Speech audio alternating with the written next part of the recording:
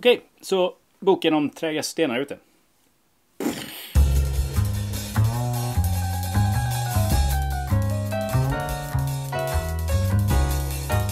Så jag tror inte att Trägas och stenar behöver någon vidare presentation om man har följt min kanal de, de här tio åren. Men har man kommit hit av andra anledningar, eh, via YouTubes algoritmer eller eh, något Instagram-flöde någonstans, så kanske man vill ha en liten kort presentation.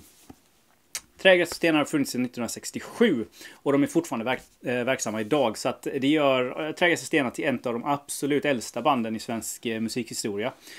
Kanske i världen också, men ja, i alla fall i Sverige. Trädgårdsstenar har funnits i massa olika konstellationer sedan 1967. Det började med Persson Sound. Sen gick de vidare till International Harvester. De döpte om sig till Harvester. Och sen Trädgårdsstenar. Och nu för tiden så kallar de sig kort och gott för Träden. Men jag tänker så här, alla de här konstellationerna. Jag kommer nog att benämna alla bandkonstellationerna som trägräs och stenar nu i resten av den här lilla eh, recensionen. Bara för att göra det enkelt för mig själv. Alltså trägräs och stenar de spelar mer eller mindre dronig, lite jazzig, jammig, eh, psykedelisk musik. Det är väldigt svårdefinierat och jag hör ju själv att det låter rätt så flummigt. Och det är det också, men jag kan liksom inte sätta fingret på eller någon sorts etikett på vad det skulle vara exakt. Och det kanske också är det som gör att trädgårdsstenar är så fantastiska. Man hör tydligt i, i eh, den tidiga musiken när det var eh, Persson Sound att man är influerad av, av den tidens konstmusik. Terry Riley, du har eh, New York-scenen med Andy Warhol. Och att eh, de influenserna kom starkt. Du har även den brittiska vågen av eh, pop och rockmusiken på den tiden. Även fast man kan läsa i boken att de var kanske mer influerade av vad som hände i San Francisco. Eh, och eh, Quicksilver Messenger Service.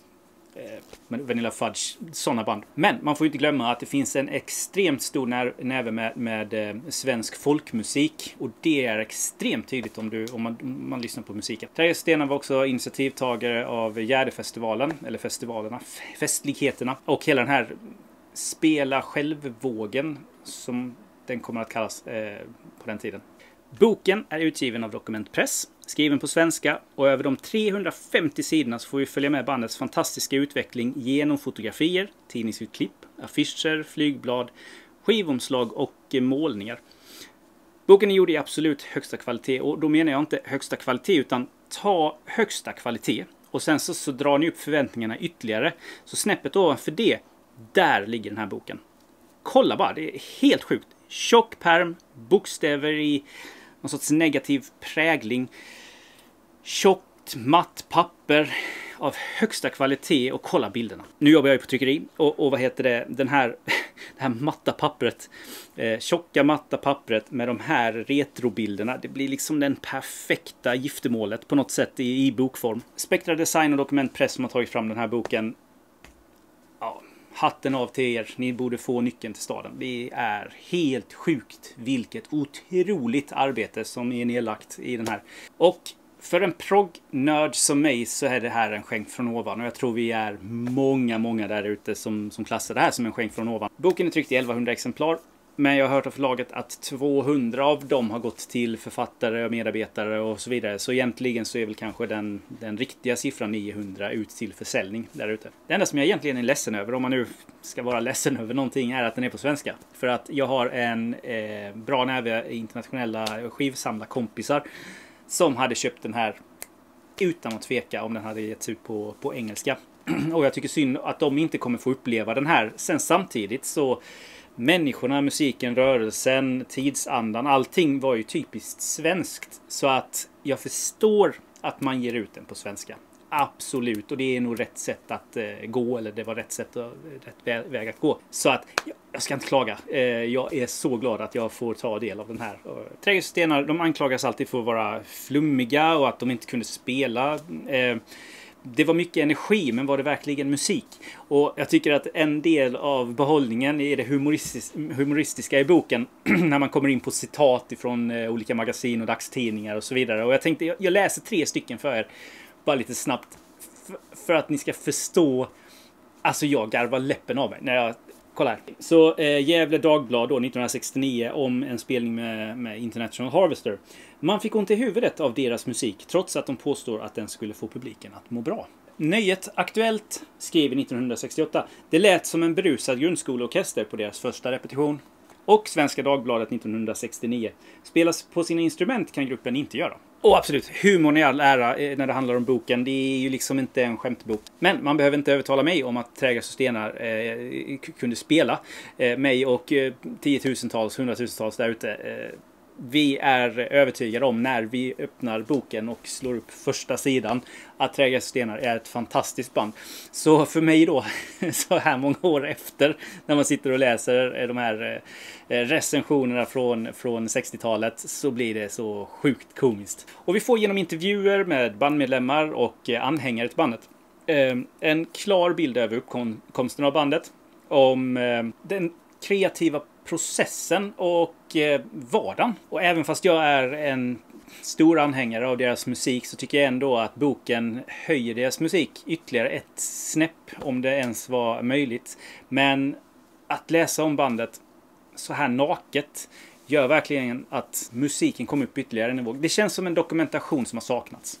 Och jag älskar också hur, hur ärlig boken är och hur naken den är. Eh, för att man pratar ju, jag menar, man pratar musik och man pratar rörelse och så vidare. Men man kommer även in på relationer. Relationer mellan bandmedlemmarna. Det verkar ändå som att bandmedlemmarna, även om det har kommit och gått, har haft en extremt stor respekt för varandra. Eh, boken tycker jag är tydlig med att säga att bara för att man samarbetar idag betyder det inte att man måste samarbeta i morgon. Och även om man kanske kan läsa en liten bitterhet mellan raderna eller kanske saknad av relationen så, så tycker jag ändå att det verkar som att musikerna är väldigt glada för att de var en del av Trägräs och stenar när det begav sig och att de är väldigt glada över vad de skapade som, som finns dokumenterat idag. I form av eh, musik och just nu då en bok. Det här är på riktigt en bok som inte bara ska läsas, den ska upplevas. Det är den absolut bästa, väl, mest välarbetade och snyggaste boken som jag någonsin har haft nöjet att läsa om en, ett svenskt band. Och jag vet inte, ni har ju fått se bilder här på, på, på detaljbilder på, på boken. Skriv gärna i kommentarsfältet om ni har en bok som ni tycker är ens i närheten av det här eller bättre. det skulle vara otroligt intressant att läsa den. När jag har varit i kontakt med förlaget så har de sagt att den troligtvis aldrig kommer att, att uh, tryckas igen. Så de här 900 exemplaren som finns där ute, det är nog de som, som finns. Så dagens bästa tips är köp den idag. Om du har något som helst intresse av trädgårdsstenar eller den här boken, rörelsen och så vidare. Köp den nu. Inte imorgon och inte nästa vecka utan köp den nu. För att när de här 900 exemplaren är borta och min gissning är att de kommer vara borta rätt så snart. Eh, och de har satts hemma i en hylla så tror jag det ska mycket till för att den ska åka ur den hyllan igen. Med tanke på hur otroligt snygg och gedigen den här boken är. Så försover man sig så får man nog tyvärr leva utan den här boken. Och det hade varit synd. Det har varit ett privilegium att eh, få haft möjlighet att, eh, att eh, läsa den här. Och att jag kan ställa in den i hyllan. Så det var det för idag. Tack så mycket Trägare Stenar för den fina musiken. Och för boken. Tack Dokument Press för att jag fick möjlighet att läsa den och recensera den. Ett fantastiskt samarbete. Och jag hoppas vi ses i nästa video. Så ha det gött så länge.